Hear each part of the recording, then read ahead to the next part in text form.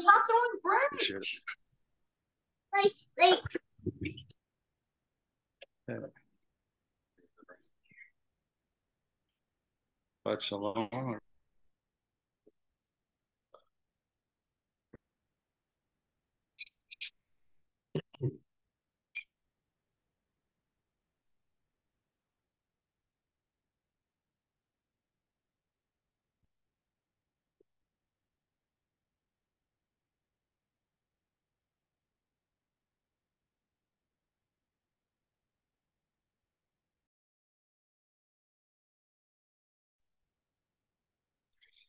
Okay.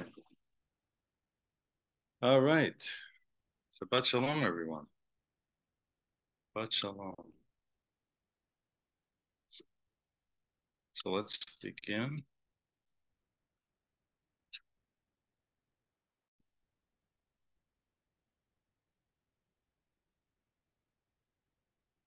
Screen sharing. Okay, Parshat Shemot. Oh, before we do that, let's do Shabbat uh, prayer and worship as we usually do. Shabbat Shalom, everybody. And uh, so we begin with a prayer, the blessing of the Torah.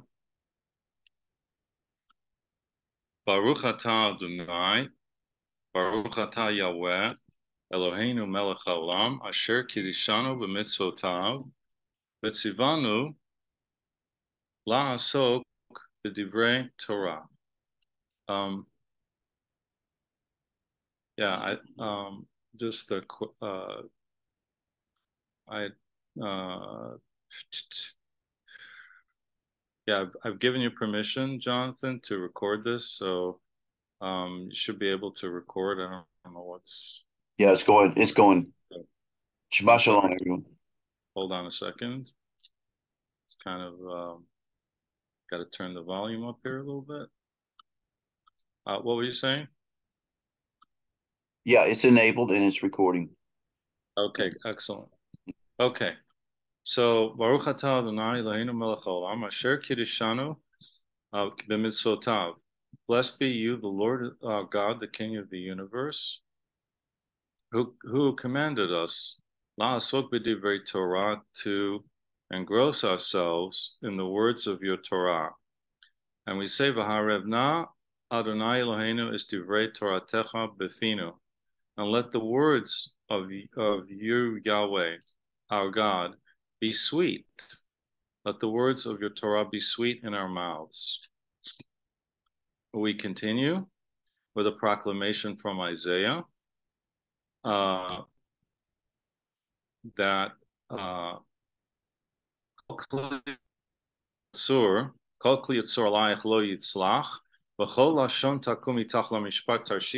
Zot Adonai, Ne'um Adonai. No weapon that is formed against me shall prosper, and every tongue that rises against me in judgment I do condemn, because this is my heritage as a servant of the Lord, and my righteousness is from you, say the Lord. All right, so now we have our declaration, and let's begin with some worship psalms. Psalm 48. Hallelujah, hallelujah, kol malachav, hallelujah, kol tzavahav. Praise him, all you angels. Praise him, all you hosts. Hallelujah, Shemeshver, hallelujah, kol malachav, hallelujah, kol tzavav, hallelujah, arech, hallelujah, kol koch. Praise ye him, you sun and the moon. Praise him, all you stars of light. Hallelujah. Praise him, ye heavens of heavens, and ye waters that are above the heavens. Hallelujah, Shem. Let them praise his name. Let them praise the name of the Lord, for he commanded and they were created. Vayamidem la'ad la'olam chak natan v'lo ya'avor. He hath also established them forever and ever, and he hath made a decree which shall not be transgressed. Hallelujah Yahweh min haaretz, tananim v'chol talmod. Praise the Lord from the earth, ye sea monsters, and all that is in the deep. Eshu barag, shelig v'kitor, ruach sara, osad debaro. Fire and hail, snow and vapor. the stormy wind fulfilling his word. Heharim v'chol geva'ot, the mountains and all the hills, the fruit trees and all the cedars. The mountains and all the hills. Eitz peri, the fruit trees, v'chol arazim and all the cedars. Hachaya, the beasts, v'chol behema, and all the cattle. Remesh v'tzipor kanaf, all the creeping things, and all that has wings. Malchei Eretz v'chol umim, the kings of the earth and all the peoples, the princes, Sarim v'chol shoftei aretz, the princes and all the judges of the earth. Bachurim tulot, the young maiden, Zekenim in Narim, the old men and the children. Yahalalu, let them praise, at shame Yahweh, let them praise the name of Yahweh. Kin is gav shemol for his name alone is to be exalted Hodu al eretz v'shamayim. His glory is above the heavens and the earth. By Karen. And he hath lifted up a horn for his people, a praise for all his saints. Livnei Israel, for the children of Israel, Am Karovo, the people that are in, that are near him. Hallelujah. Okay, so that was Psalm 148. We continue with Psalm 149. Hallelujah. Shir Adonai, Shir Chadash, Tilato Bikal Chasidim. Sing unto the Lord a new song, and his praise in the assembly of the saints. Hallelujah. Yismach Yisrael Be'osav, B'nai Tzion Yagilu B'malkam. Let Israel rejoice in his maker. Let the children of Zion be joyful in their, in their king. Let them praise his name in the dance. Let them sing praise unto him with the timbrel in the wrote,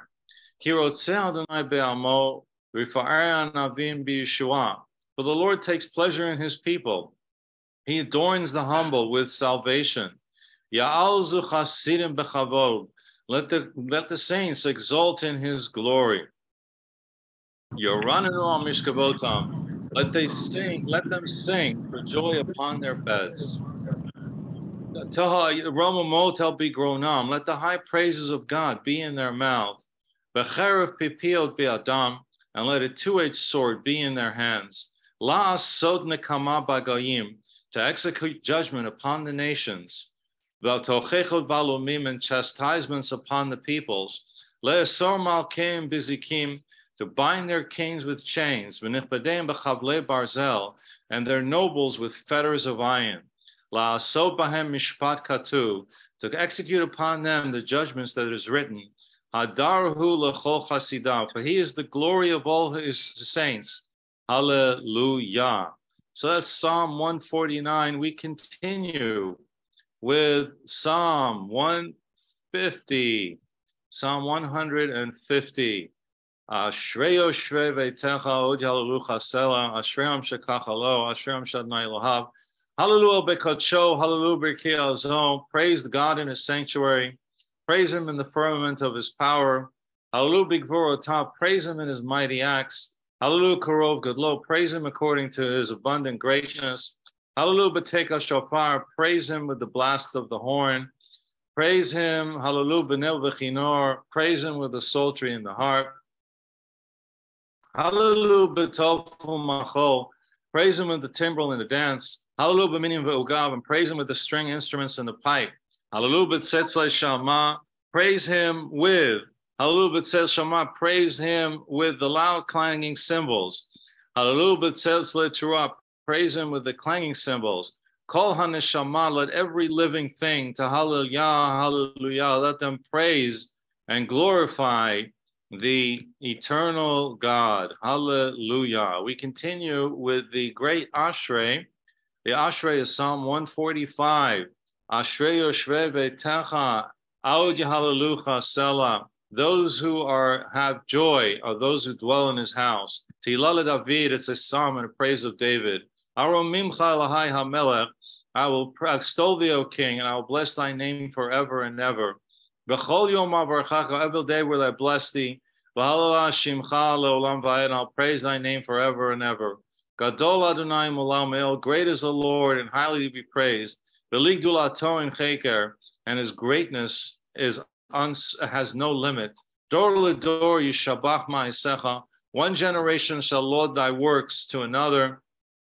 Ugvurotecha, and shall declare your mighty acts. Hadar kavod hodecha, the glorious splendor of thy majesty. V'divrei niflotecha asicha, and thy wondrous works will I speak about.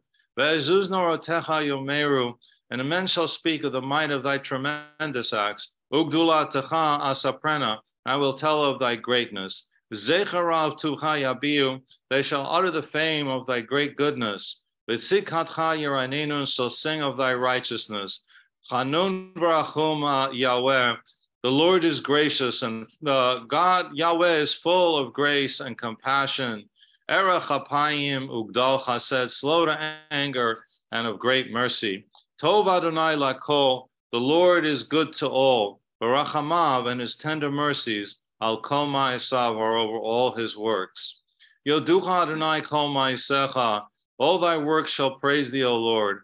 V'chasidecha yivarchucha, and thy th- saints shall bless thee. We continue on verse uh, 11 with the same psalm, Psalm 147. Kavod malchutcha yomeru, they will speak of the glory of thy kingdom. Uguratecha yidaberu, and talk of thy mighty acts. Lahodia livnei hadam gavuro sav, to let to make known to the Son of Man his mighty acts. Ukvod hadar malchuto, and the glory and the majesty of his kingdom. Malchutcha malchut kolol amim, thy kingdom is an everlasting kingdom. And thy dominion endureth from generation to generation. So Yahweh the Lord of all, all who fall. V'zokev, and raises up all, hakufim, all those who are bowed down. The eyes of all wait for thee. And thou givest them their due season. V'teach et yadecha, thou open us thy hand. Omem shaltecha bechol dov dor, and uh, omasbil chocha ratzon, and thou give satisfies every living thing according to your favor. Tzaddik Adonai bechol darachav, the Lord is righteous in all his ways. Bechasid bechol ma'asav, and he is compassionate and gracious in all his works. Karov Adonai lechol korav, the Lord is near to all that call upon him. Nevertheless, they must be, those who call upon him must speak truth. He's close to all who only speak to him in truth. He will fulfill the desires of those that fear him.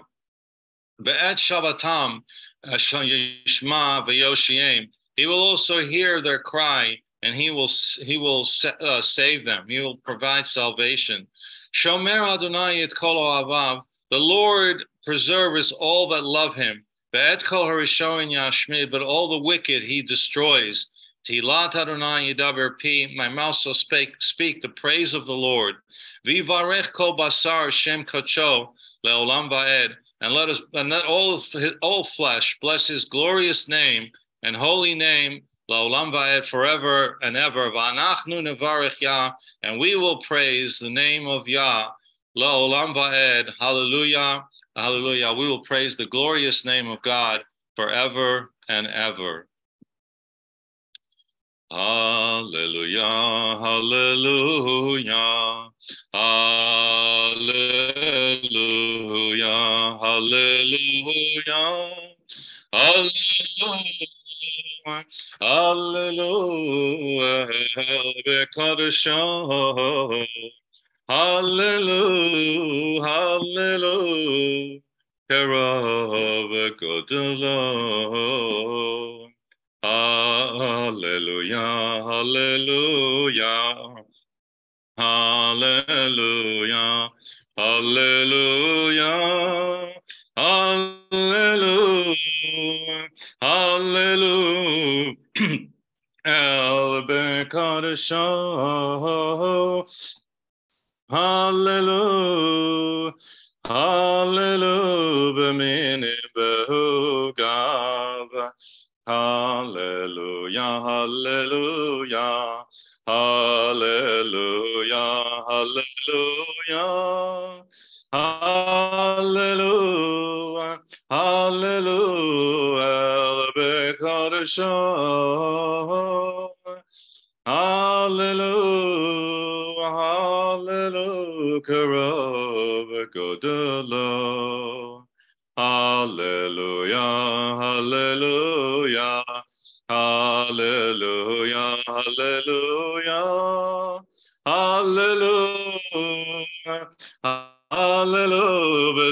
B'tzil Tzalei Shama.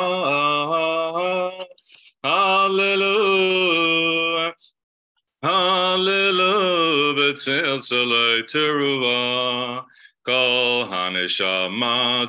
Hallelujah, Hallelujah, Hallelujah. Hallelujah, Hallelujah.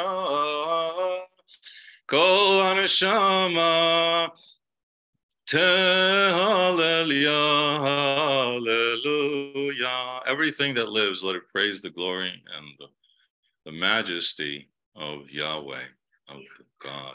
Amen. Okay, so that um, concludes our little worship section. And now we will get into the Parsha. So, uh, welcome for those of you who uh, just came in, and um, Shabbat Shalom to everyone. And uh, we're going to do Parshat Shmini. So, this is uh, the Parsha, as uh, some of you might not know the uh, Jewish tradition has divided the Torah, which is the books of Genesis, um, Exodus, Leviticus, and um, Numbers and Deuteronomy. Those five books have been divided into the entire year. They're divided into 54 sections so that every week a portion of the Torah can be read, and therefore everyone will be able to um, to connect to the Lord because we are not to spend three days without Torah. We're not to spend three days without the word of the Lord. And where do we learn this from? We learn it from Moses. Moses speaks about this and uh, mentioned it in the past. So this concept of the parsha, the section of the week, this week is Parshat Shemini, which means Shemini means eight, and it is in Leviticus chapter 9, verse 1 through chapter 11, verse 47. So let's look at this week's Parsha, which has some amazing things in it, including uh, where when uh, Aaron's two elder sons, Nadav and Avihu, the famous story where they offer a strange fire before God. Now it tells us, uh, Parsha's summary is the following. On the eighth day, following the seven days of their inauguration, Aaron and his sons begin to officiate as Kohanim, as the priests, and a fire issues forth from God to consume the offerings on the altar, and the divine presence comes to dwell in the sanctuary. Thank you. So Aaron's two elder sons, however, Nadav and Avihu, offer a strange fire before God, which he commanded them not, it says, and they die before God. Aaron is silent in the face of this, tra- of this tragedy, of his tragedy. Moses and Aaron, Aaron subsequently disagree as to a point of law regarding the offerings, but Moses concedes to Aaron that Aaron is in the right. God commands that the kosher laws identifying the animal species that are per- permissible and forbidden for consumption, it's in this week's portion. So we just had that uh, conversation here at Passover here in Perry, uh, which Barbara is hosting so wonderfully, and we thank her. Um, so that came up as an issue, right? The issue of kosher. So those kosher laws are in Leviticus uh, chapter 9, 1 through 1147. So God commands the kosher laws identifying which species are permissible and forbidden. So land animals have identif- two identifiers. Number one is they can only be eaten if they have split hooves and also they chew their cud. Fish must have fins and scales. Any fish that only has one of these identifiers is not considered kosher. They must have both. Uh, and there are some fish that will have fins but not have scales. Um, and then there are a list of non kosher birds is given and a list of kosher insects. Which are there are exactly four types of locusts that are allowed to be eaten out of the insect family. But in general, all insects are unkosher for consumption except for these four types of locusts. And for the record, um, if anybody wants to eat them, uh, we got a problem because nobody really knows what those four species that are permitted. There are some um, there are some Ethiopians and others who claim they know which kind of locusts, uh, Jewish uh, Jewish Ethiopians who, who believe that they have a tradition of which locusts are kosher, but it's not accepted by the general Jewish community. So that's a kind of a debunked uh, uh, reality. In any case, let's look at this week's parsha. What we do, what we do is we read the Torah words in the original Hebrew, and then uh, we'll translate in the uh, in the English. So, because the Hebrew, original Hebrew has the power of God's word in it, of course. And it says the following Vayihi bayom hashmini kara Moshe la'aron ubanav v'lizignei Yisrael. And it was on the eighth day that Moses summoned Aaron and his sons and the elders of Israel. I'm reading from chapter 9 in Leviticus, verse 1. Vayomer el Aaron, and he said to Aaron, Kach lecha egel ben bakar lechatat. Take for yourself a bull calf as a sin offering, va'ayu leolah, and a ram as a burnt offering, timimah, that, that is unblemished, v'hakrev lifnei Adonai, and bring them near before Yahweh. Now, chap, uh, verse 3, V'el b'nei Yisrael, and to the children of Israel, to daber lemor, you shall speak, saying, Kuchu si'ir izim lechatas, take a he goat as a sin offering, ve'egal bekeves ben shana, and a calf and a lamb, both in their first year, timima olah, that are unblemished as a burnt offering. Verse 4, V'shor va'ayi lishlamim, an ox and a ram as a peace offering, lizboach lifnei Adonai, to offer up before the Lord, umincha b'lulav bashamen, and a meal offering that's mixed with oil. Ki hayom Yahweh nira alechem, for today Yahweh is appearing to you. Verse 5, Vayikhu et asher tziva Moshe, and they took what Moses had commanded, el penei moed, to the front of the tent of the meeting, Vayikurvu kol hoedah, and the entire community approached, Vayamdu, lifnei Yahweh, and they stood before Yahweh. Vayomer Moshe, and Moses said, Zeha davar ashet siva Yahweh ta'asu. This is the thing that the Lord, which the Lord Adonai has commanded to, for you to do. Vayera alechem kavod Adonai, and the glory of the Lord will appear to you. Verse 7, Vayomer Moshe el Aaron, and Moses said to Aaron, Karav el hamizbeach, approach the altar, ba'aseis hachatat, and, and perform the sin offering, vetalotecha and your burnt offering, vechaper ba'atcha, and atone for yourself, uva'adaham, and for the people, va'aseit korban ha'am, and perform the people's sacrifice, vechaper ba'adam, and atone for them, ka'asher tziva Adonai, as, as the Lord Yahweh has commanded. Verse 8, Vayakrev Aharon. So Aaron approached El HaMizbeach to the altar. Vayishchatet Egel Achatat. And he slaughtered the sin offering, the calf, Asher Lo, which was uh, his. Vayikarvu, verse 9. Vayikarvu b'nei Haron et Hadam. And Aaron's sons brought for, forward the blood to him. Vayitbol etzbo, and he dipped his finger in the blood. Badam vayiten al karnot hamizbeach, and he placed that some on the horns of the altar. Vet hadam yitzak al yisod hamizbeach, and he poured also the blood at the base of the altar. Vet, uh, verse 10, vet and the fat. Vet and the kidneys. And the diaphragm with the liver. Menachatas, from the sin offering, hakter hamizbecha, caused to go up in smoke. Asher tziva et Moshe, as the Lord had commanded Moses. Uh, verse 11, Vet habasar, and the flesh he burned, Vet or saraf ba'esh michutz lamachaneh, uh, and, and the, the flesh and the hide he burned outside the camp in fire. Verse 12, Vayishchat et and he slaughtered the burnt offering, and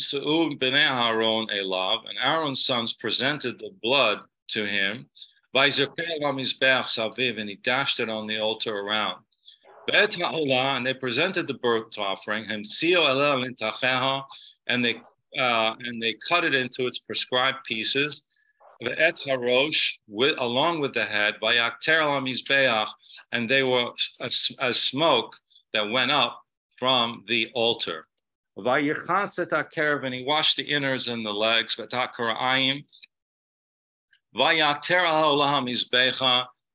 These went up in smoke along with the burnt offering. Verse 15, Vayakrev, Vayakrevet Karban Ha'am, and he brought forth the forward the people's sacrifice. Vayikachet Sa'ir Hachatat, and he took the sin offering, which was the goat. Vayishchateo, and he slaughtered it. Vayichateo, and he made it a sin offering, Karishon, like the first one. Verse 16. and he brought forward the burnt offering, Vayaseo kamishpat, and he prepared it according to the law.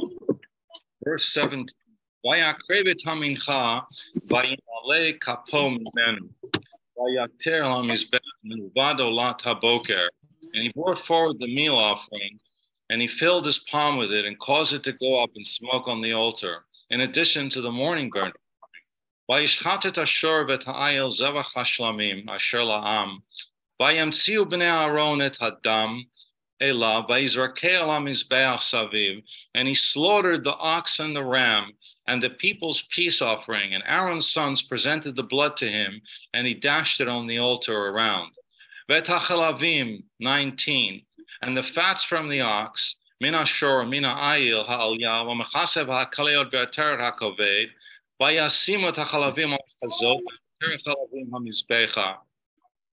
and they presented all these fats and the coverings and the kidney and the liver, and they placed the fats on top of the breasts, and he caused them to go up in smoke on the altar.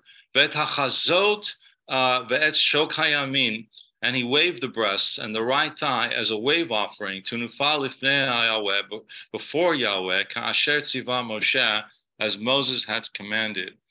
Verse 22, Vayisa Aaron et Yadav, and Aaron lifted up his hands, Al El Ha'am, towards the people, Vayivarcheo, and he blessed them.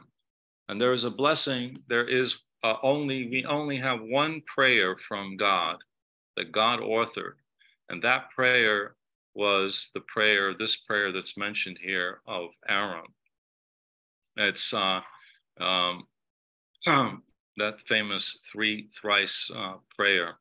Um, Yivarechecha Adonai v'yishmerecha, Ya'er Adonai panav elecha v'chuneka, Yisa Adonai panav elecha v'yasim lecha shalom. So that one prayer that Aaron was taught, he blessed the people with. Vayivarcheu ta'am, vayera, and the glory of the Lord, vayera kavod Yahweh, and the glory of Yahweh appeared el kol ha'am to all the pe- people. So Parshat Shemini, we're going to explain a little bit what's going on here, but we won't really be able to get past the first line, um, simply because um, just the time factor here. So Parshat Shemini is the 26th weekly Torah portion. There are 54 portions. Each portion is, uh, there's 52 weeks in the year. And there are, there are two Shabbatot, two uh, Sabbaths where we read a double portion. So this is the 26th weekly Torah portion in the annual Jewish cycle of Torah reading.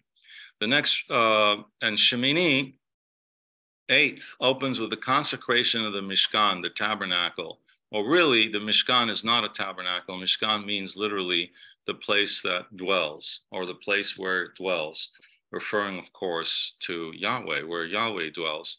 The parasha, const, uh, it's made up, parasha is made up of 4,670 Hebrew letters, 1,238 Hebrew words, 91, verse, 91 verses, and 157 lines in a Torah scroll, which is called a Sefer HaTorah.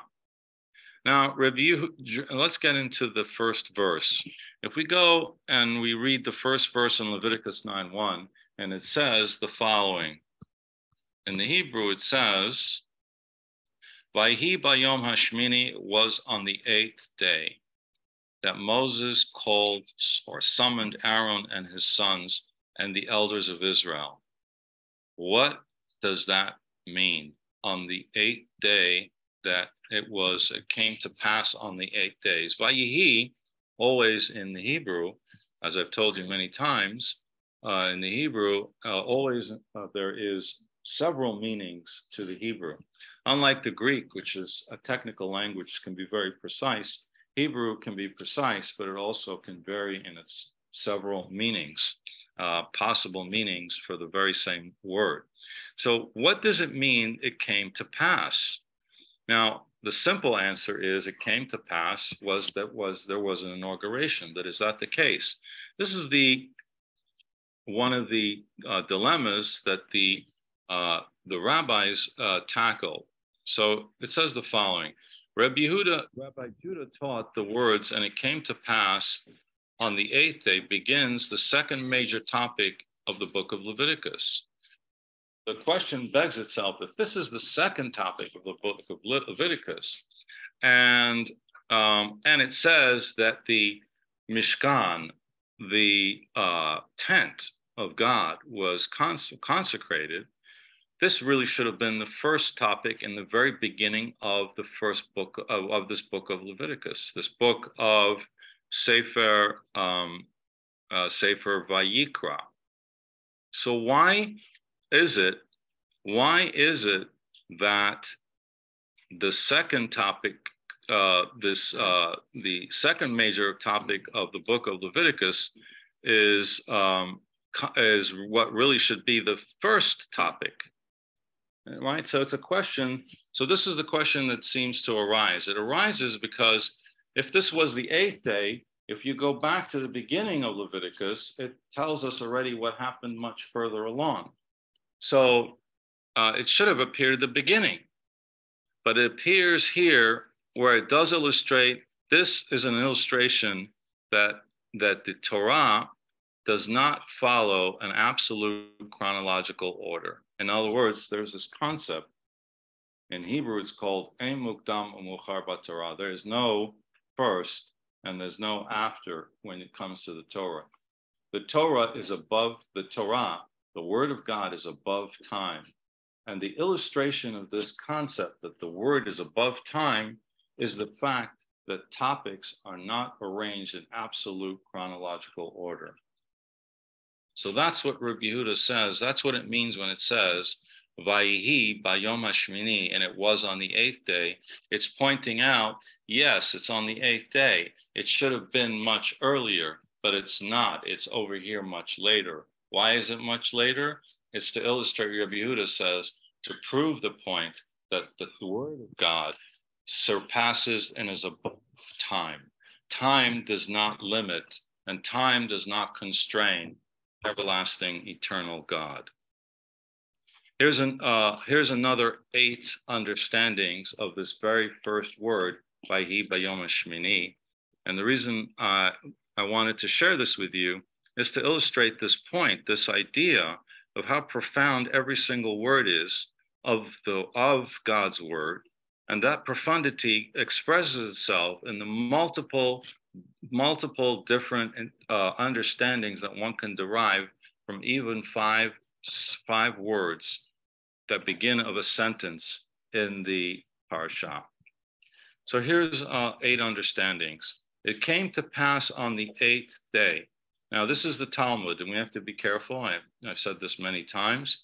The Talmud is not to be accepted um, uh, unilaterally there are some good things in the Talmud, in the Babylonian Talmud. Of course, there's also things that are not good. But when uh, we sh- we should not throw the baby out with the bathwater. That's my belief. You don't have to accept that. But uh, there's times when the, the, the Talmud can be quoted because it does uh, consolidate and uh, a number of Jewish teachings. So here, the Talmud says the following: That day, the eighth day, was special because it took 10 crowns. What were the 10 crowns? What were the 10 uh, powers of sovereignty that that day took? It's the first one, it was the first day of creation. According to Jewish tradition, Yom HaShmini, the eighth day, this day was an inauguration of the first day of creation. And of course, that is something that requires quite a bit of explanation, and I'm not going to go into it. But nevertheless, the crowning of this period of time corresponds to the beginning of time, which is creation. Uh, notice I said the beginning of time. That does not mean necessarily the beginning of, of what happened in past times eternal. But when we say the first day of creation, usually it's referring to the creation of heaven and earth, which, which is spoken about in Genesis 1. Number two, the second crown. It was the eighth day was the first for the offerings of the Nesiim, the tribal heads. If you might have noticed, it says that Moses gathered the elders of Israel. Who were the elders of Israel? They were the tribal heads. How many tribes were there? It's a trick question. There are actually, well, there are actually 13. There's 12, right? But let's just say there are 12, right? So the gathering of the elders, the tribal heads, the offerings of their of them was necessary. Why? Because they leadership needs to make atonement before the people. Notice even Moses had to make atonement. God says, even you, Moses, are not exempt from atonement. And therefore, if Moses was not exempt from atonement, neither were the tribal heads uh, of uh, either also not exempt from, from atonement. Um, number three, the third crown is the first for the priesthood. This was the first time that the priesthood actually offered a, sac- a sacrifice to God. So this was this is what was special about the eighth day. Number four, it was the first public sacrifice. There might have been sacrifices that uh, that were that were done um, that were private, and we're not given privy to that. But apparently, it was also a day where public sacrifice was inaugurated. Number five, the first for the fall of fire from heaven. According to the understand, according to Jewish tradition, the first time God accepted this inauguration of the Mishkan, of the of the place that he dwelt with, dwelt in, was the first time fire fell from heaven. And in order to establish the kingship and the sovereignty of God, and to um, uh, and this this was also establishing the uh, the first uh, the first authority on earth that was acceptable to the Creator, the first sacrifice that was acceptable to the Creator. And number six, the first for the eating of sacred food. Number seven, the first for the dwelling of the divine presence in Israel. The mystery of the divine presence in Israel is a uh, long um, discussion, but essentially, why this Mishkan, this tent of meeting, was established is not understood clearly. It's taken me many years to figure out that actually this was not God's idea. This was Israel's idea. Why was this Mishkan, this whole idea of a sanctuary where God would dwell, why was this Israel's idea? It was Israel's idea because they experienced at Mount Sinai that the goodness and the love and the incredible blessings from God. And that experience fundamentally changed how they saw Yahweh. And that experience was such that they went to Moses and they said, We want God with us. And Moses said, Well, that's going to be a tough one. you, you've sinned over and over again, and you're constantly disobeying him. I'm not sure I'm going to be able to, you know, uh, get anywhere with the Lord about this because the Lord is a consuming fire. And if you sin, then death will break out into the camp. And this happened many times. And yet the Israelites insisted that they wanted God somewhere close enough that they would receive his blessings. And so the whole idea of Mishkan was actually an Israelite idea. It came from the people. It was ground up. It was not God's idea from the get go. But God said, okay, if you want me around, you're going to need to start atoning because I can't be with you if you are sinning and be dwelling amongst you, you must immediately atone for your sins. To start making sense now, it's not that God wants continual sacrifices. It's the fundamental fact that the Israelites wanted God's blessing because everybody was healed. Everybody, nobody ever got sick. Nobody, everybody had plenty of abundance. Everybody felt happy. Everybody saw such goodness. They said immediately when God's presence left, they were desperate to get it back. And so they begged Moses, find a way to get God back amongst us. So God, so Moses went to God and said, We want you to dwell with us. And um, I can prove this from text, and I don't have time to go into this. But uh, in any case, God said, Well, if you're going to have me dwell, then it's going to have to be a continual process of atonement because otherwise I will not be able to dwell amongst you. And see, from here, we see the love and the humbleness and humility of God. Number eight, so the dwell, the divine presence dwelt there. Number eight, it was the first for the priestly, priestly blessings of Israel. And it's the first day on which it was forbidden to sacrifice to God anywhere but in the sanctuary. And number 10, and it's the first of the months. So the eighth day has these 10 crowns, if you will, that were established for Israel and for humanity, so to speak, through the agency of Israel, so that God's presence actually dwelt on earth as it never had beforehand. God's presence had never, ever dwelt on earth before this period of time. God had appeared to Abraham, Isaac, and Jacob temporarily. God had appeared temporarily to the Israelites when he gave Moses the Aseret uh, HaDibrot, the Ten Commandments, or really the Ten Sayings. But the first time that God actually dwelt on earth was with the establishment of this sanctuary. Can you see how important this is? Now, here's the second understanding. That day, according to the Talmud, again, we go back to the Talmud, we have to be very discreet, you know, we have, you need to use discretion. But here's a beautiful concept. That day was as joyous to God as the day on which heaven and earth were created. So Yahweh, for Yahweh and for Yeshua, that day was a glorious day. It was a joyous day. It's because he could come back. He can, God, Yahweh could fulfill what he, on some small level, what he always wanted, which was to have his family, his children, connect to him. And uh, this is why it says it came to pass. What came to pass? Came to pass joy. That's what it means. It came to pass. Vayehi, that one word.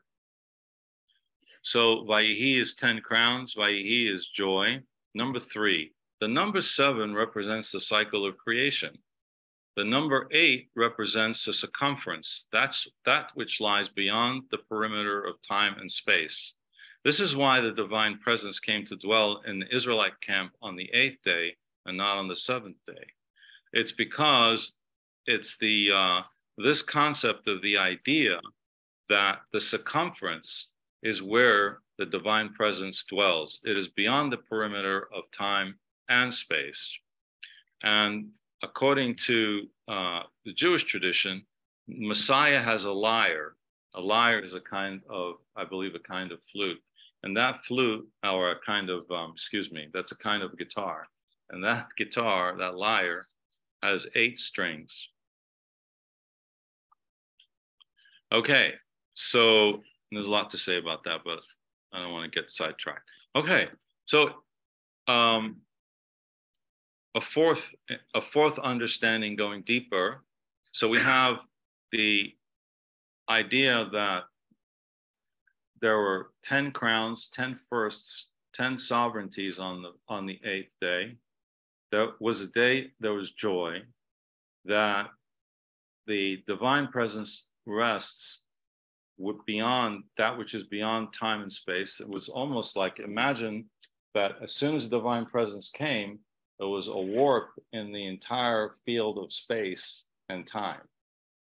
Almost like a like a, you know, they talk about these um, you know, holes in space, right? Where time no longer functions, right? You know that in physics. Well, here, uh, what we see is the divine presence causes that an interruption, if you will, of time and space. Uh, the fourth interpretation for seven days, God persuaded Moses at the burning bush to go on his mission to Egypt. Right? So, how many days did God have a conversation with Moses? Hey, you're going to take the people out? Seven days. And Moses refused. After seven days, he said, No, I don't want to do it. Imagine you're talking to the creator of the universe, and he's trying to convince you to, to do something, and you say no for seven days. Right? And said God to Moses, finally, By your life, I shall tie this in your skirts. When did he repay him? For all the seven days of inauguration, Moses ministered in the office of high priest, and he imagined it was his. And on the seventh day, God said to him, I'm sorry, but it doesn't belong to you. It goes to your brother Aaron. So God, in effect, said, You made me you made you were stubborn with me for seven days so um and only on the eighth day did you accede so here is your return for your willfulness to not listen that's pretty intense. It's the midrash rabbah. So that's the fourth interpretation of vayihi and it came to pass. What came to pass? It came to pass the resolution to Moses' sin, if you will, when he refused to uh, listen to God to redeem the people, he made God wait seven days. And for that, he lost the priestly uh, priestly um, office, and it was given to his brother Aaron. Number five, a fifth interpretation of Vayihi, and it was on the eighth day. Rabbi Levi or some other rabbis taught that a tradition was handed down from the men of the Great Assembly that wherever Torah uses the term and it was, Vayihi, or it came to pass, that word, it's talking, it's the, it indicates the approach of trouble. Because Vayihi, Vayihi also has, uh, can be uh, translated in Hebrew, not only that it came to pass, they can also mean woe or sorrow. So for so, so the first words in Leviticus here, it says Vayihi on the eighth day. This was a prelude, an anticipation of that Nadav and Avihu, the sons of Aaron, would die. That was the woe of the eighth day. The eighth day was an anticipation that Aaron's two great sons would die, as we'll see in a moment what was a little deeper what's what was going on. We can't we don't really have time to go into why Nadav and Avihu died, but it's a very uh, interesting topic. Any case, number six, we're just looking at, and it came to pass on the eighth day. Rabbi Elazar said the following. It says in Exodus 29 43, and there I will meet with the children of Israel and the the and the uh, sanctuary will be sanctified by my glory. God says uh, in Exodus, he God agrees to this plan of the Israelites that he should dwell with them, and he agrees about this plan in Exodus 29 43, much earlier than Leviticus. And there he says, I will meet the children of Israel and they shall be sanctified by my glory. The kavod Adonai, the glory of God, sanctifies. This mean that that and this means that God will in the future meet the Israelites and they would be sanctified by him. And when did this happen? This happened on the eighth day. So when it says, and it came to pass, it's referring back to that verse in Exodus 29 chapter 29, verse 40, 43, this is the eighth day where it's coming to pass now what God had already promised many, uh, uh, much time before that he would sanctify them by his presence. Leviticus 9:24 a little bit later tells us what that experience was like. What was the experience like when God sanctified the people and they were um, and uh, sanctified by his glory? It says, when all the people saw, they shouted and fell on their faces, right, which is very similar to what happened in the great temple of Solomon when, uh, when it says the priests were so overwhelmed with the glory of God, they literally fell on their faces. They could not minister, they could not literally stand up because the glory of God was so powerful. The kavod in Hebrew also means heaviness. So there's a weight, there's a heaviness to the glory and the honor, kavod of God, such that it is impossible to stand up physically. Literally, they fell on their faces. And this is exactly what happened in the tent. So this is what Rebbe Eliezer is saying. It came to pass. What did come to pass? It came to pass that the sanctification of the tent and the sanctification of the people happened such that it, it, became fulfilled that they literally fell on their faces and they shouted when they saw the kavod Adonai, the glory of God. Okay, um, interpretation number nine, Vayihi. What does it mean on the eighth day? So Rabbi Shmuel Bar Nachman taught that Moses first incurred his fate to die in the wilderness for his conduct at the burning bush. This was a serious issue because God waited and tried for seven days to persuade Moses to go on his errand. As Exodus 4:10 says, and Moses said to the Lord, "O Lord, I am not a man of words, neither yesterday nor the day before, nor since you have spoken to your servants, servant, which the Midrash interpreted to indicate seven days of conversation. And in the end, Moses told God in Exodus 4:13, "Send, I pray, by the hand of him who you will send.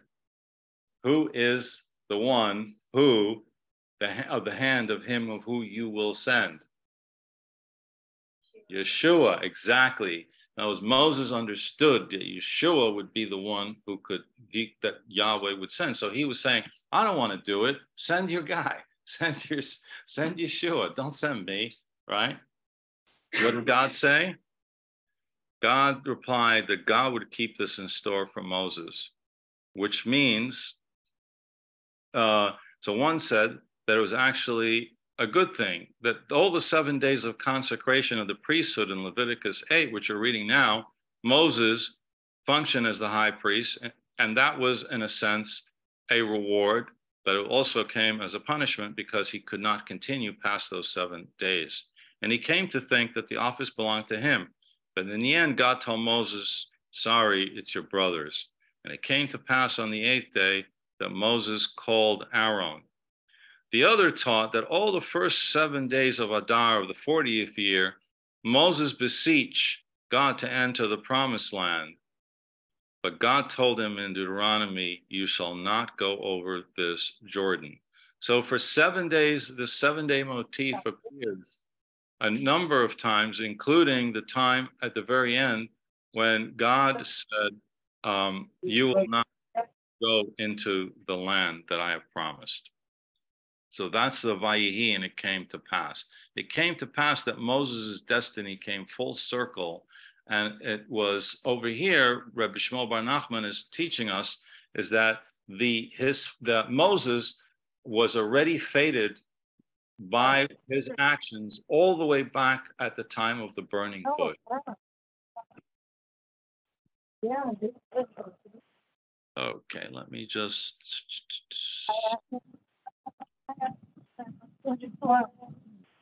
Hold on.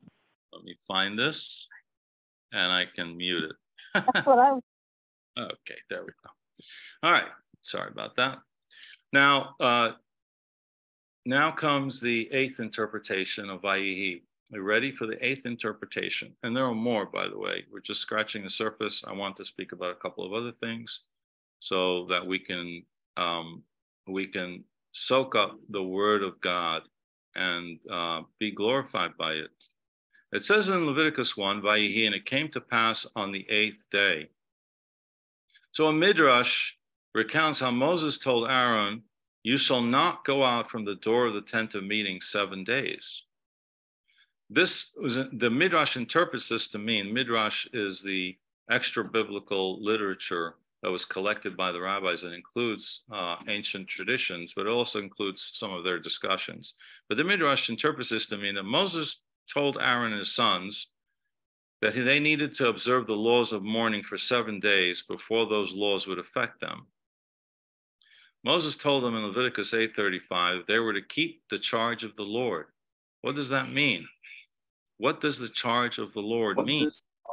But God had kept seven days of mourning before God brought the flood. In Genesis 7:10 it says, "And it came to pass after the 7 days that the waters of the flood were upon the earth." So the Midrash deduces from this that God was mourning during this period of time because it notes in Genesis 6 6, and repented the Lord that he had made man on the earth, and it grieved him. The Hebrew word grieve is vayit yatsev, at his heart. And we find that in 2 Samuel 19:3, we find that very same word expresses mourning, where it says, the king grieves Neitzav for his son. So just as uh, when it says that it came to pass on the eighth day, that what we find here is a instruction of for grieving, which um, Moses taught Aaron which he derived from God because God was the one who mourned for seven days when he destroyed the earth. And it says, uh, when it says it grieved him, this is referring to his mourning, that God was actually mourning for the creation that he had to destroy. And that mourning is not less than seven days. And this is what Moses was teaching Aaron in anticipation of what happened to his sons, Nadav and Avihu the elder sons of Aaron. Let's look at a little bit at the strange fire and death. We need to touch upon that because it wouldn't do justice to this parsha if we didn't look at that for a second, because it's a very strange thing. It, um, the story is is Nadav and Avihu come before the Lord and they, they um, offer up what is called strange fire. What is this strange fire?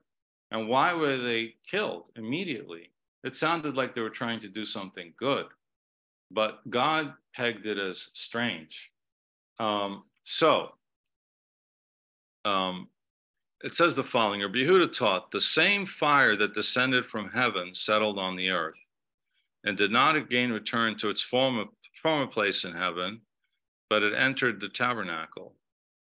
So what we have is a mystery the mysterion and the secret of the Lord is when this fire came down for the sacrifice that the people were offering to God, this fire didn't go, did not leave the temple, the, excuse me, the, the sanctuary, the tent of meeting place. And therefore, it's that fire that came forth and devoured that fire is the same fire that devoured all the offerings that the Israelite brought in the wilderness. Because Leviticus 9:24 does not say, and there descended fire from the heaven.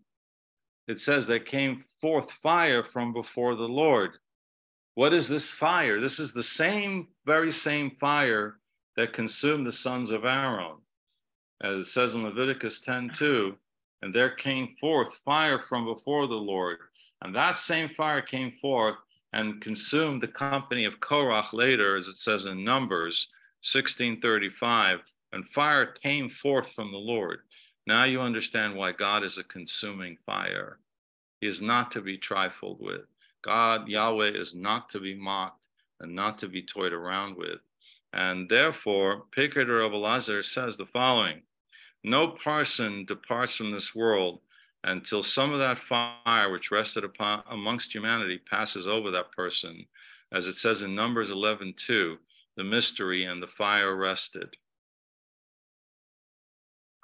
So now we have an idea of what uh, the strange fire was consumed by the fire of the Lord. That same fire that descended from heaven but never left. And this is why fire against strange fire against the fire of the Lord is um, is very dangerous. And Midrash notes that the death of Nadab Avihu is in numerous places. It teaches us that God grieved because he mentioned them more than once, the sons of Aaron, for they were dear to God. And thus Leviticus 10:3 quotes God to say, "Through them who are near to me, I will be sanctified." It's a very great teaching. But uh, in Hebrew, it doesn't translate as well. Uh, in the English, you get a, some sense of it, but it's, in the Hebrew, it's Bekarov Elai, Akadesh, through those who are near to me, then that's how my sanctification takes place. In other words, part of the sanctification of God, of Yahweh, is because not because Yahweh necessarily wants to demonstrate his glory and his kavod and his power, but it's a natural extension of who he is. In other words, no one can approach Yahweh unless they are pure without being consumed. And so this is what God is saying. Those who are near to me, I will be sanctified because they will manifest this fire. And sometimes, if you're not appropriate or if you cannot handle the fire, you will be burned. Moses was able to handle the fire. As it says, when he came down from speaking to the Lord on Sinai, it says he had to wear a veil. Why did he have to wear a veil? It's because his face shone. Why did his face shine? Because of the fire but Moses had fasted 40 days and 40 nights. And he had also had an elevated level such that he could withstand the consuming fire of the Lord. But if one doesn't have the preparation of the spiritual altitude, if one doesn't have the purification and the holiness, if one does not have the proper spiritual vessel, so to speak, to withstand the consuming fire of the Lord, you'll be consumed. And this was the sin of Nadav and Avihu. The strange fire that they came to in front of the Lord, even though they were dear to God, was they were striving to get higher and higher towards God. Well, what they did is they jumped the gun. They went too far, too fast, and they got consumed. This is why it grieved God.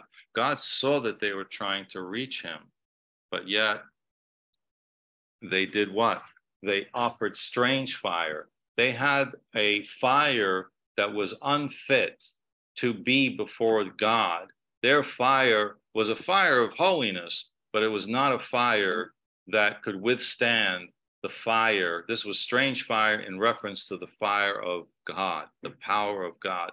So even though Nadav and Avihu in the Jewish tradition were extremely great men, as a matter of fact, according to the Jewish tradition, now, Nadav and Avihu were greater than Moses and Aaron in stature. But they, um, as we will see, their motives were not absolutely pure. And therefore, their motive of strange fire is what caused, consumed them. As it consumed Korach, who was also very great. Uh, this is why God said, the through them who are near to me, I will be sanctified. God is saying there can be very great people who are have extremely elevated level of kedusha, elevated levels of holiness and purity and righteousness, but yet if they drew drew too fast, too near, without absolute purification, they are in danger of being consumed because God said, even those who are who are extremely great, through them I will I will be sanctified. I will show how how sanctity and how holy I really am. This is what's going on here. So we have a, a, a teaching. Bar Kapara said in the name of Rabbi Yirmiyah ben Elazar that Nadav and Abihu died as reported in our chapter because of four things. So here's a, a deeper level. Number one, they died because they, they drew too near to the holy place. There is such a thing as distance. We talked this morning about space. There is such a thing as getting too close. There is, and that's one of the things that Nadav and Avihu, that was the strange fire. The strange fire that they brought was they got too close. And in other words, they did not know their place. Number two, they offered a sacrifice that had not been commanded to offer. There's a place to offer a sacrifice that God wants us to give, but there's also the danger of offering something that we haven't been commanded to offer. We all have that experience of knowing people who jump the gun, who want to be self righteous or attempt to overreach themselves in their righteousness. And as a consequence, it stinks, right? We see it for what it is. It's out of place. It's inappropriate. It's not what it, it interferes with our spiritual path and our spiritual walk. It could be a pastor, it could be a friend, it could be someone, but if they're if they are not truly commanded, if they command themselves, so to speak, if they're not led by the Holy Spirit, then it's strange fire and therefore it's unholy. I mean, we've all had that experience from people like that. Number three, the third reason is strange fire they brought in from the kitchen. they, in other words, they brought fire not only that was not commanded, but fire that should never have been brought in. There was some kind of motivation in their fire, so to speak, or some element in that fire that was that was um, that was not uh, that was in contradiction to the holiness of God that they brought. Number four, it's that they they did not speak to each other. They did not take counsel from each other. As Leviticus 10:1 says, each of them his censer. Why does it need to tell us that each of them brought their their own fire? It's because they both acted on their own initiative they didn't talk to each other through uh, what they were actually doing. They got carried away with their own self righteousness and own self importance that they didn't even consult each other. They just thought, this is a great idea, let's go do it. And so Rabbi Kapara is saying, these are the four reasons why Nadav and Avihu, even though they were attempting to serve God, the fire, the holy sanctified fire of God came and consumed them. Rabbi Mani of Shahav in Galilee and Rabbi Yochanan said Nadav and Avihu died in four things. Number one is so here we have another uh, picture and lenses, lens, another set of lenses to know why why Nadav and Avihu passed away. Number one is because they drank wine. Drink not wine no wine nor strong drink when you are in the, in the sanctuary. The problem wasn't that they drank wine. The problem is, is that there are certain places where you don't drink wine. And when you're meeting with God, you don't drink wine. God had said, don't drink it. And they disobeyed. And that's why they passed away. Another, so even though they were doing, could have been doing a righteous thing, it's because they had violated one of the commands. Number two, because they lacked the prescribed number of garments while officiating. That's another answer. It says, uh, and it says, not of you lacked robes. They were carried out in tunics. And so God had already commanded them not to do this, and they thought they were above the law. Number three, because they entered sanctuary without washing their hands and feet. Um, and he's and he says a fourth reason is because they had no children. so there is something about holiness that requires having children. And since they didn't have them, that was the reason why they passed away. There's a fifth reason. Rabbi Levi said they died because they were arrogant. And this is very interesting. It says many women remained unmarried and they were waiting for them. But Nadav and Avihu were very great men, and they were too proud. And they thought, well, our father, our father, their father's brother Moses was king. Their mother's brother was a prince. Their father Aaron was a high priest, and they were deputy high priest. There's no woman that was worthy of them. they were basically saying, "There's no one for us to marry who's uh, good enough for us because you know we're we got all the leadership positions." So not so Rabbi Nachama taught in the name of Yeshua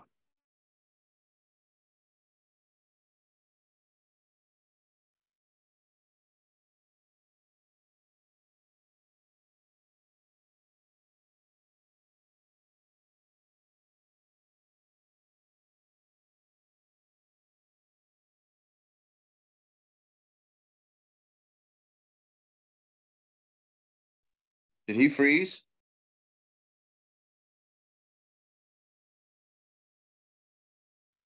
His uh his computer must have dropped out with no power. Hang tight, you guys. He'll be right back. Don't go anywhere. Yeah. Either he um yeah he froze or there's a glitch in the matrix.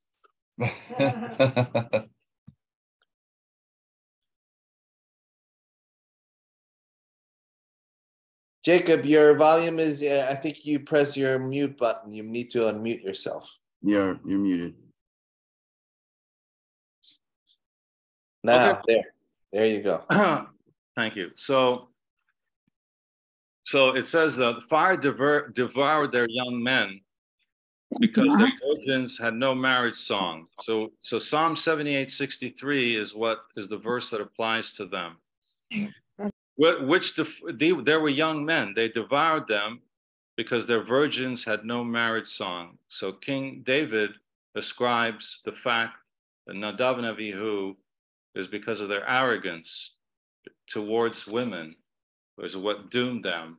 That was the strange fire that they brought before God. Their pride and their arrogance doomed them, even though they might have been uh, doing the right thing. It was their motivation and their attitude which doomed them.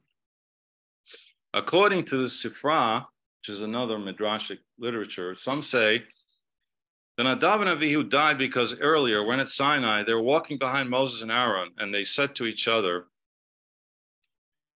In a little while, the two old men are going to die, and we'll lead the congregation. and then God said, We will see who will bury whom. In other words, the uh, they probably were frustrated with the longevity of Moses and Aaron, who seemed to be not only were they uh, extremely healthy and vital, um, they uh, lived um, for a long time. And since they coveted the leadership positions, so God said, uh, and God overheard their comment. The, op- the when it came time and they attempted to establish what's really the midrash is saying, what they were attempting to establish their authority by offering this strange fire, and to God it was strange. No, as God said, I didn't, you know, yes, you're great. Yes, you're attempting to advance. Nevertheless, um, if you're going to do it with arrogance, that is not going to cut it. That is not going to work. So that's a little bit on this week's Parsha. And uh, we have a little time. So uh, any any questions or any um, uh, any questions in regards to the Parsha before we move on? I'd like to um, speak about uh,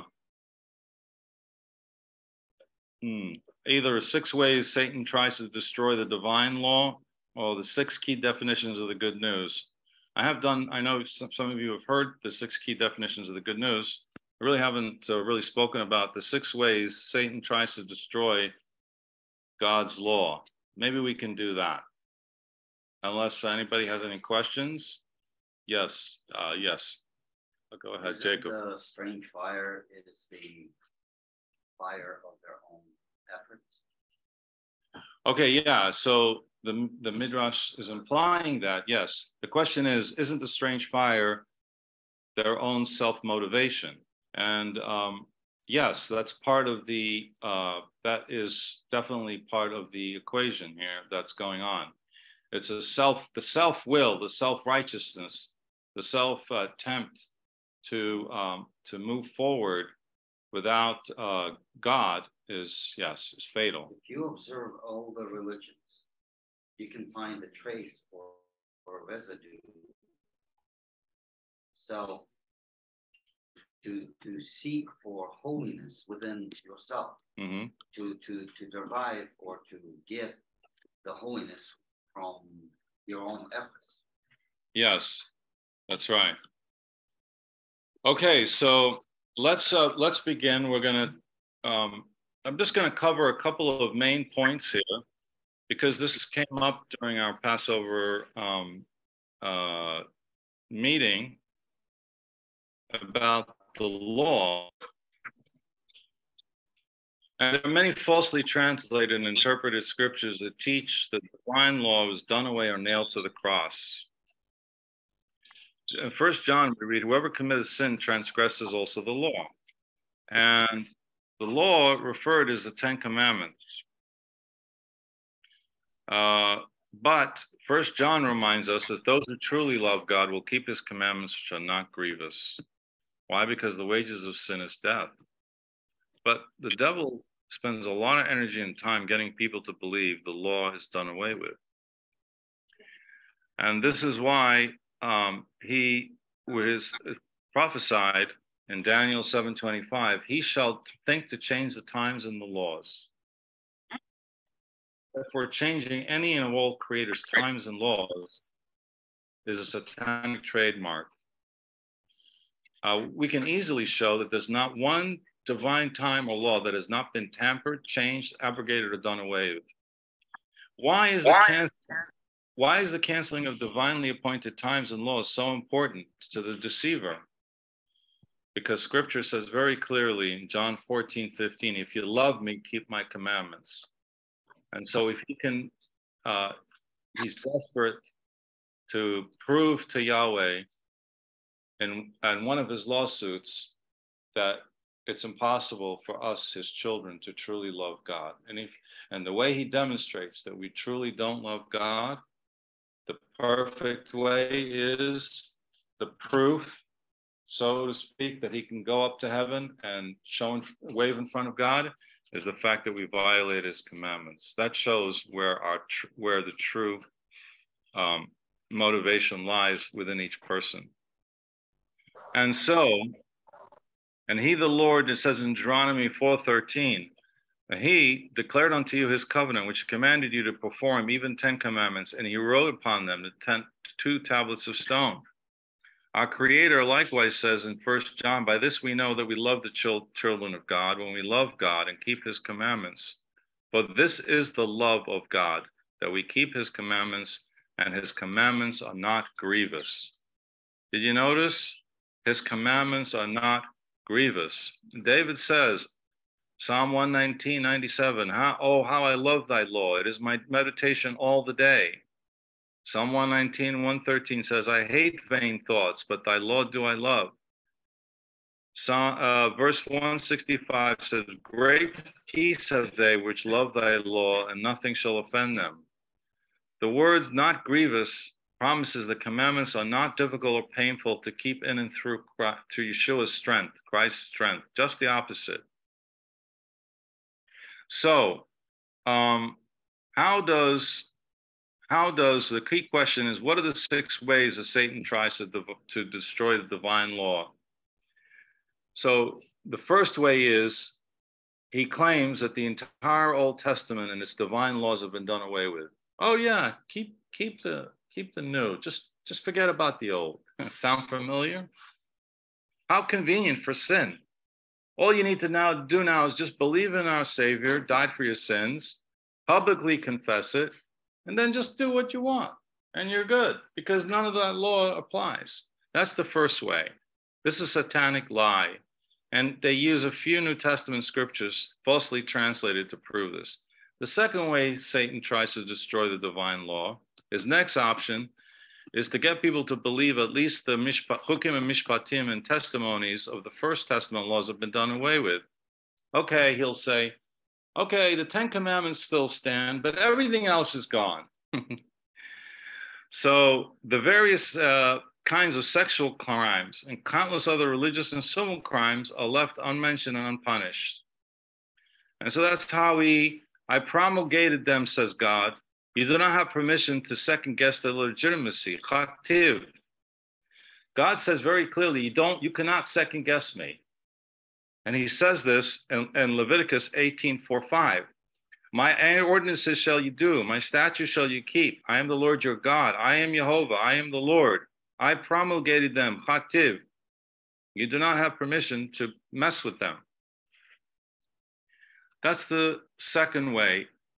So that Satan tries to get people to believe that it's all that it's all done away with except for uh, the Ten Commandments, but yet God says very clearly, you can't second guess my commandments. The third way, the devil can't get Christians to reject the Old Testament or to reject the statutes and judgment, he'll simply say, the Ten Commandments have really just That's been gotta do. done That's- away with, nailed to the off. cross. I need that off. What is it?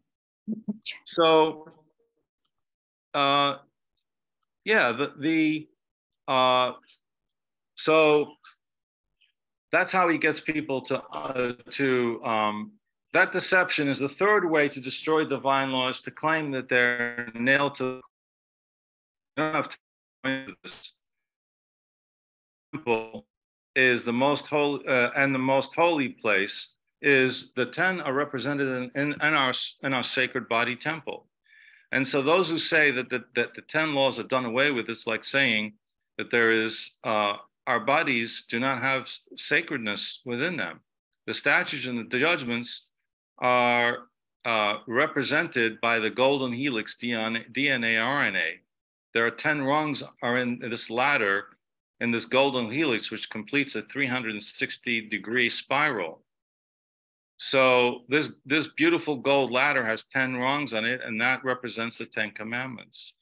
People are exposing their ignorance when they say that the 10 commandments are were nailed away or done away with. The fourth way he tries to do it, he says, well, the good news is you just believe in this gospel and you're saved in sin, not from sin. This is another way. And the fifth way he destroy, destroys the divine law, he claims that God laws must be kept except the fourth commandment, because God was Christ Christ was resurrected on the first day of the week. That's a, a fifth way. The sixth way Satan tries to destroy the divine law, his desperate attempt is to say, um, is to uh, is to tell people uh, that the fourth commandments, the fourth commandment um, is based on uh, is based on superficial, flimsy reasoning. Right. The sixth way he tries to destroy it is uh, is he tries to select different commandments that people would like to eliminate from themselves to say that they don't apply. In any case, so that's about six ways. Um, I don't want to go into all details here because it's the holiday, it's Passover. And um, I hope you've uh, enjoyed our little Torah session. And uh, we're open for questions or any uh, comments. And um, yeah, okay. So, hi, Jonathan. Yeah. It was a good teaching, brother. Very Thank good. you. Thank you. Good to see you. Okay, so uh, I guess we can summarize. We had uh, we went through the parsha. We had eight understandings, and we also touched on Nadav and Avihu, their death, and we got some understanding there.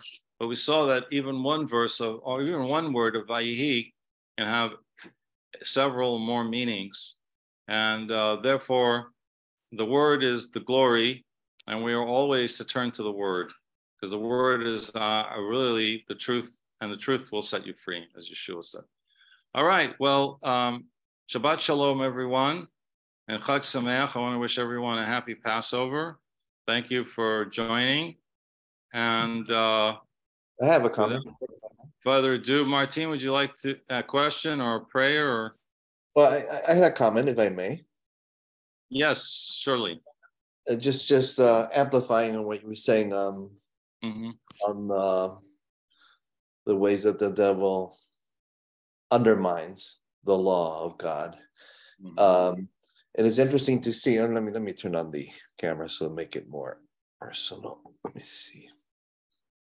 There we go. Hi. Uh, Yeah, hi. Got a haircut. yeah, it's uh, interesting that in the First Testament, that the, the devil was pushing for perfection and uh, to the point of legalism, where everything was about the law and no love, no grace. And that was one extreme, which obviously is not good. And now, with the New Testament, and after Christ came, everything became about grace, so much so that it became cheap. And the law, oh, we don't need that then. And uh, one without the other one cannot, there has to be a balance. Uh, somebody said once in a quote that grace and and and the law, the justice must kiss, where they're in that perfect balance with each other. And that that keeps us in the narrow path hmm going too heavy on one or the other, which was the message that Christ brought and the, the beef he had with the doctors of the law at the time. And you, you, you made it and you've turned it into a burden when it's not supposed to be a burden. It's supposed to be freedom. And and you, you've you've taken it. Not only that, you do what I say or rules for thee and not for me. And there, so um, it's interesting how yeah, that was very smart. Either he oversells you or he undersells you. As long as you're not doing it the way that Yahweh requires. Right. Uh, and and in a way, yeah, the the two sons of Aaron they over they overdid it. They oversold themselves and stepped out of the path, and they paid the ultimate price. We cannot presume. Presumption is a mother of uh, of um, mess ups. It's better to err on the side of caution and stay within the confines of what the Lord requires in His law than to presume otherwise, because then the cost is too high. And unfortunately, people are, uh, yeah, they're presuming all over the place out of their own lawlessness. Mhm. Which, by the way, when you, when Yeshua says, "Depart from me, you workers of iniquity," the word iniquity, when translated, means you lawless ones. There can be no order without law. And uh, and and this new form of uh, spirituality, cheap grace, where God is all love and don't worry about the justice of God, is is the other extreme. Right. Yeah. And, Yes. and, and compounded with horrible translations and and ravenous wolves in sheep's clothing. And we got a bit of a mess going on these days. Right. Yes. Okay. Absolutely. All right. So uh, I think we should close with a prayer, and uh, let's close with a with a tefillah with a prayer. Let's Um, have code searcher. you want to ask Jonathan to pray? Okay. Yeah, I'll All close right. this out. Yeah. We ready? Yeah. Sure. Father Yahuwah, we, we come to your throne of mercy, Father, just uh, praising you and thanking you for this day and for this feast time.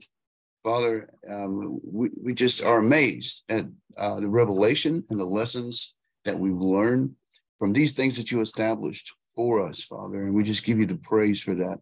Abba, I ask that you uh, go with each one of these um, after this and bless them and keep them safe.